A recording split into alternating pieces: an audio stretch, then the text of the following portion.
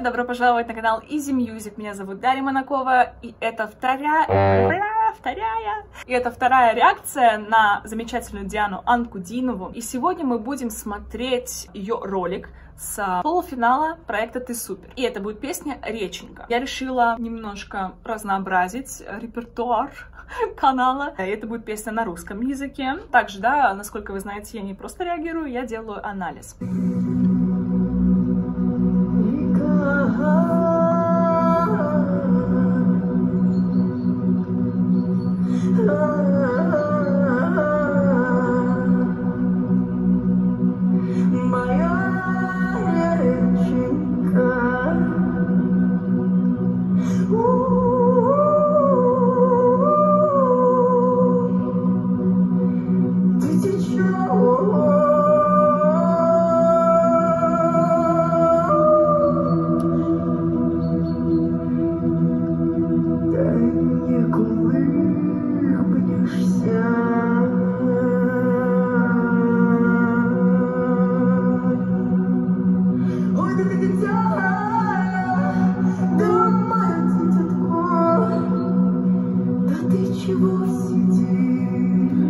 Мурашки просто по всему телу идут.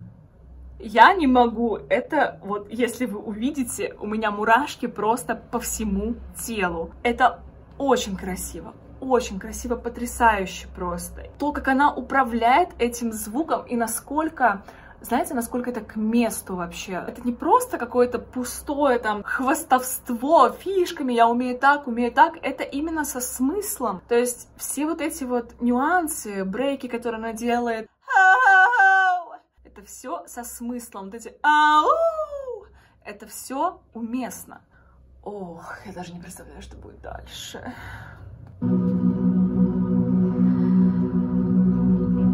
Не улыбнешься. Это что?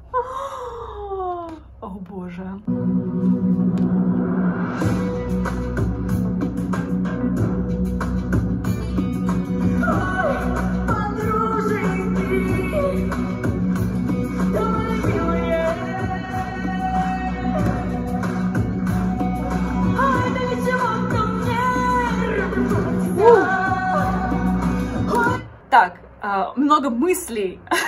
Первое, она завораживает, мы это уже знаем, мы это выяснили. Второе, мне очень нравится ее тон звука именно здесь. Ноты достаточно высокие. Здесь были на на на на на на на И они звучат в белсинговой такой позиции. В принципе, это белсинг уже. Мне нравится, что как бы здесь звук не темный, он достаточно светлый, да, в отличие как раз от той записи Human, да, на той реакции. И здесь звук очень пробивной, он очень резкий, белсинговый. Он требует немножко чуть больше работы, чем более низкие звуки, либо более легкие звуки. И прямо вау.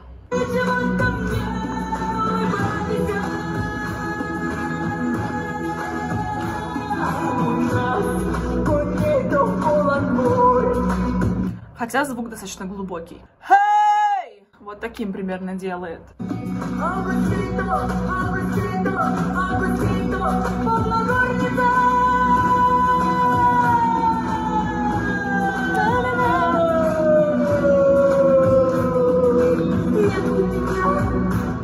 Немножко ложные связки начали подключаться к той высокой ноте, которая чуть сжатие пошло, но, опять же, тут зависит от удобства. Если удобно петь, то я не вижу в этом ничего плохого. Это именно тоже, опять же, агилеровская такая, агилеровский нюанс, когда ложные связки начинают подключаться, и получается легкий distortion. И у нее примерно то же самое получилось. Бывает так, что это именно как защитный механизм срабатывает, но бывает так, что это специальная фишка. Лично меня это не покоробило, наоборот, это очень классно слушается. Возможно, она немножко добавила воздуха мощнее, чем ей нужно было. Тоже бывает такое, но все равно.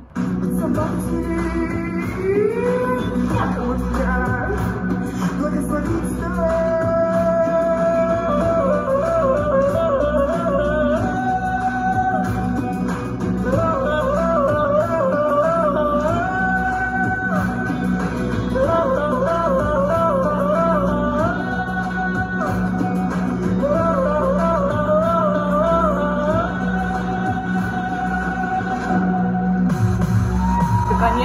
нажали бы уже сразу же.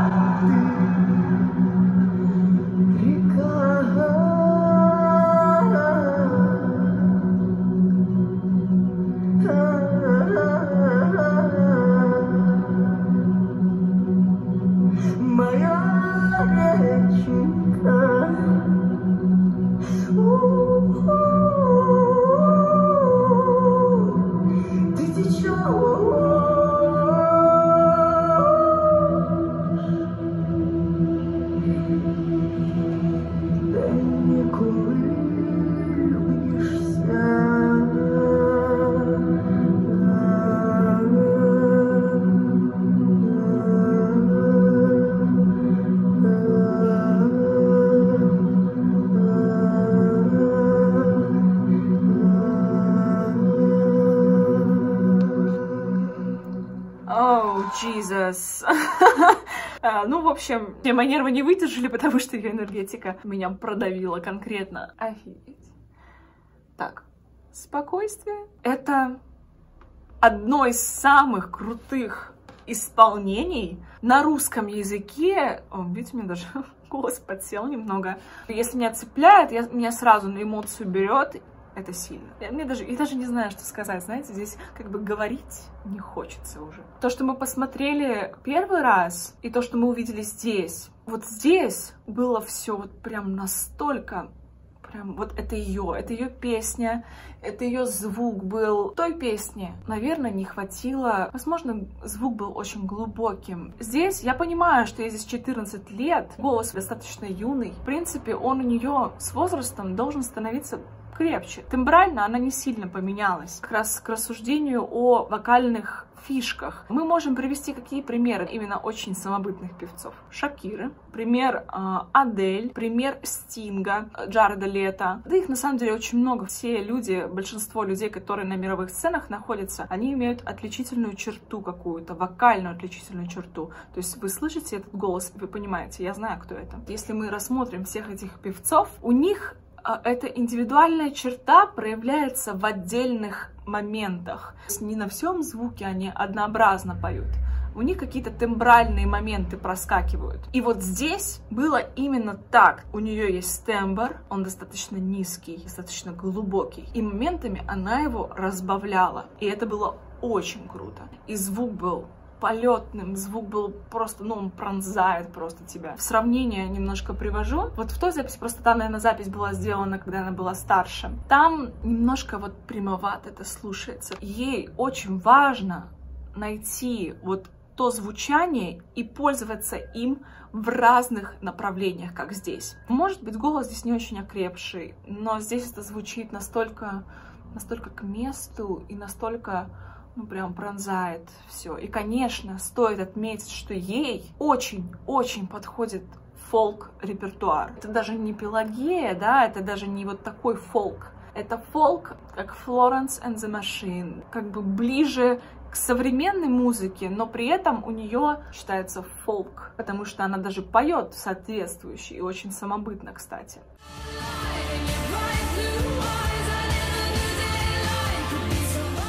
И я еще раз отмечу, что, конечно же, таких талантов, как Диана, ну, у нас в России таких талантов ну, они не поддерживаются просто. Только, не знаю, зрители ее могут поддерживать, фанаты могут ее поддерживать, люди как-то продвигать ее могут именно своими силами, то же самое реакции, да, какие-то делать, как, как мы сейчас делаем. Это голос для, для больших сцен. Хочется, чтобы она выбилась, конечно, и у нее такая сильная энергетика, мне кажется, что она сможет это сделать, и вы ей можете помочь в этом. А у нее мама замечательная, которая ее во всем поддерживает. Родители талантливых детей, которые поддерживают в них этот талант, они герои. Потому что очень сложно отказаться от каких-то своих дел, от своих хотелок и посвятить себя другому человеку. А вы знаете, что ну, музыкальный бизнес, он достаточно крупный бизнес. И если вы окунаетесь, то, по сути, это забирает все ваше время. Естественно, Диана становится старше. Но я понимаю, скольких сил требовали поездки